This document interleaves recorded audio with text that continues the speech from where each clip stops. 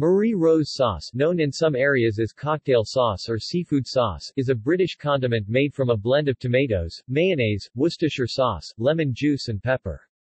A simpler version can be made by merely mixing tomato ketchup with mayonnaise. The sauce, as well as cocktail sauce, were invented in the 1960s by British cook Fanny Cradock. It is often used with seafood, and prawns in particular. Similar sauces United States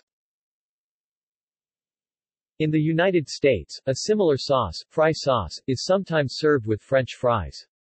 Another similar sauce called Thousand Island dressing is popular in the United States and Canada.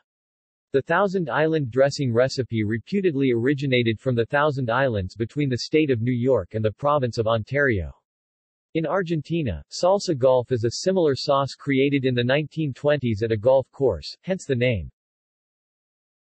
Ireland In Ireland, Marie Rose sauce refers primarily to just ketchup and mayonnaise. Marie Rose sauce in chip shops is known as burger sauce. However, the above British versions are also used in Ireland. The name used is dependent on where it is being served e.g. chip shop, and what the sauce is being accompanied with e.g. chips or salad. See also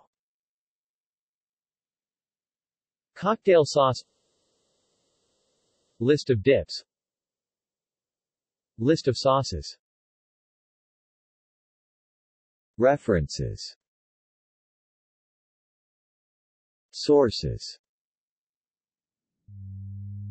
Marie Rose sauce recipe BBC recipe includes a description of Marie Rose sauce.